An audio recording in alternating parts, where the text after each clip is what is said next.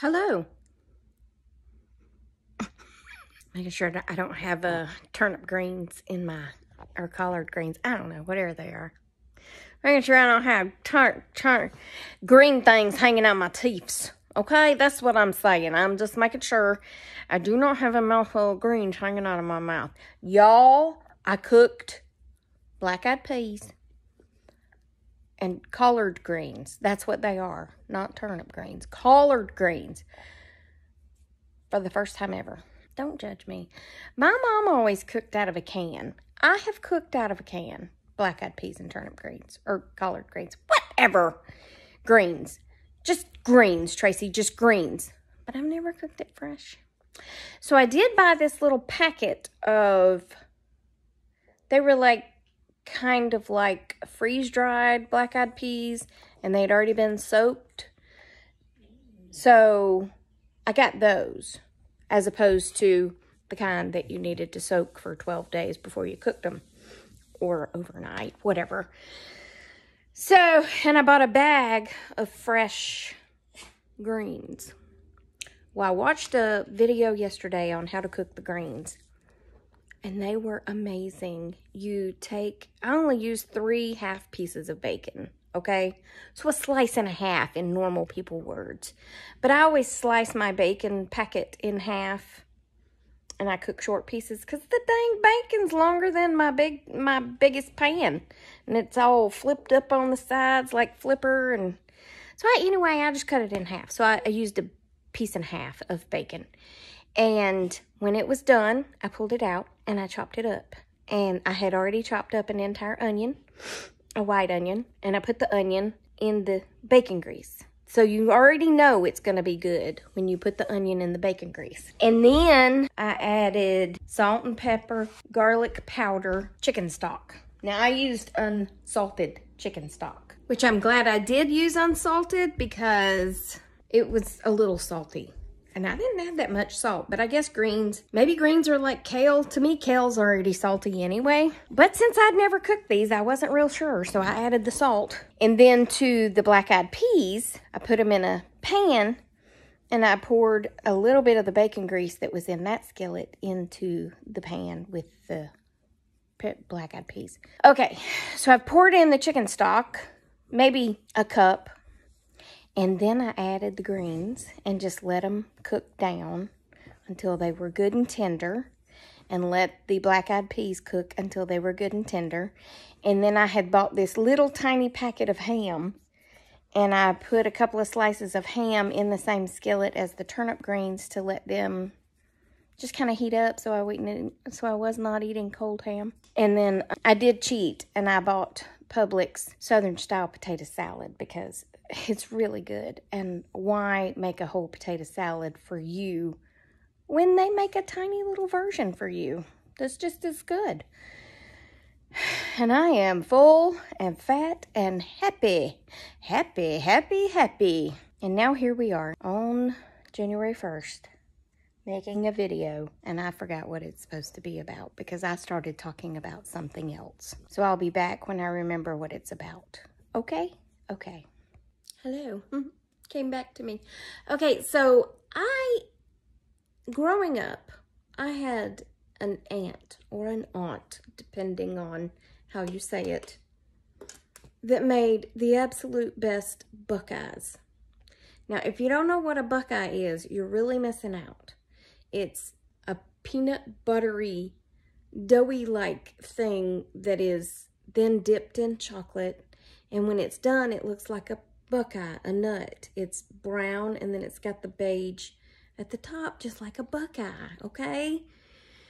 She made the absolute best ones you've ever tasted in your life. So, I asked my cousin if he had his mother's buckeye recipe? And he said, yes. And he sent me, well, actually, his wife did, sent me the recipe. I was so very excited. However, what I did not realize is that the Buckeye recipe would require graham crackers. Now, I know you're like, okay, and, well, I'm gluten-free, so I can't have graham crackers. So, I got on the old Amazon and I found gluten-free graham crackers. And I ordered two boxes because I wasn't sure, you know, with gluten-free, you get smaller packaging for way more money. Because those of us who are gluten-free, we love being gluten-free. So therefore, we want to pay more money for less product. Anyway, so I ordered two boxes. Well, thank you, Amazon, for, um, oh, I don't know, putting it under the heaviest boxes on the truck and or throwing it um, once you got here from the street to my front porch. Whatever the case was, the box was crumpled. And inside the box, the box of graham crackers was crumbled.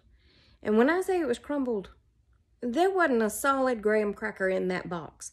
Now, I have not opened the second box because it doesn't look quite as um, torn up as the first box. But I wanted to open the box so I could try the graham crackers and see how they tasted because gluten-free doesn't always mean better. Again, I love paying more for getting less and it not tasting as good as regular. People say gluten-free. People, it's a fad. I can assure you it's not a fad. But anyway, I digress. So, I got the crackers, the box open, and the crackers were shattered into a million pieces, but I had some, you know, bite-sized bite-sized pieces. Oh, well, that's all it was, was bite-sized pieces. But anyway, I ate a couple of them really good. And I was like, hmm, okay. And then I went to look for the recipe. And apparently I either deleted it because I took, she sent me pictures of the index card where the recipe was written. I took a snapshot, I thought, and saved it to my pictures. I thought I saved it to my pictures, but if I did, I deleted them. And then I went back to Messenger where she, or text, where she had sent them to me. It was text, not Messenger. And I had deleted the text message. So now I've got to go back and ask her for it again. Anyway, so I was like, okay, I know I need peanut butter. I know I need the dipping chocolate, but I can't remember what else. And I can't remember the actual measurements. So, you know, I'm going to give her a day or two and then I'm going to ask her again and say, mm, I'm an idiot. I lost the recipe. Could you send it to me again? Well, the graham crackers that I got were so yummy I put them all in a Ziploc bag, and I've been kind of snacking on them, you know? Because who doesn't like a graham cracker? And TBH, these graham crackers almost tasted better than N-A-B-I-S-C-O. I mean, they were yummy. So, yeah, I came in here last night to sit on the couch and do nothing and brought me that little Ziploc bag of graham crackers because I wanted to eat a couple of little bite-sized pieces because, again, that's all that was in the bag. Because they crushed my heart along with all those graham crackers. Anyway, um, I left them on the coffee table. It's a normal thing to do, right? I mean, my tea's sitting on the coffee table right now. I left the bag of graham crackers on the coffee table. Now, I don't know what happened between the time I went to bed and this morning at about 10, 9 o'clock, 8 o'clock, I don't know what time it was. It don't matter. I walked into the living room and this little brown dog of mine had the bag of gluten-free crackers. My expensive gluten-free honey graham crackers. And he had eaten every one of them. He had ripped open the bag and eaten every single one. It's not meant for me to have those buckeyes, apparently. Apparently, I need to just move on about that thought. I do have another box of gluten-free crackers, but I may, at this point, I may just eat them. Because everything's going against me to make those buckeyes. uh, they're so good. So good. What can you do? What can you do? Um, yeah, but anyway, that's such a, that's all I wanted to tell you about. And, um, I have a haircut next Friday, so I'm very excited about that to get some of this madness cut off my head. My head, I got too much hair going on. And um, Happy New Year. Happy New Year. It's New Year's Day, and I'm not doing anything. So, hmm, the joys of being over 50. Do what you want to. Mm. Okay. Happy New Year again. Goodbye. It's me again. I just opened the second box of graham crackers. And they're all shattered, just like my heart, into a million pieces.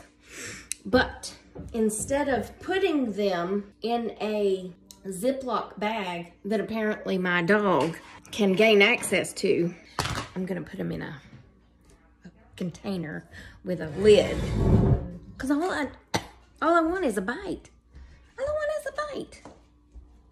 Um, but let me show you how they arrived. Now the box looked on this one, it looked okay. You can tell it's a little. The other box, calm down here on my hair growth. Here's the other box. Here's the Amazon box. Here are my graham crackers. Now this package looks like it may have some uh, solid pieces in it. I'm not gonna return them. I'm not gonna complain because like I said, I want to make those things anyway, which requires them to be crumbled. It's just the principle of the thing. You know what I'm saying? Because two boxes cost me $12. $12 because I can't find gluten-free graham crackers anywhere except on Amazon. So there. Okay. Goodbye.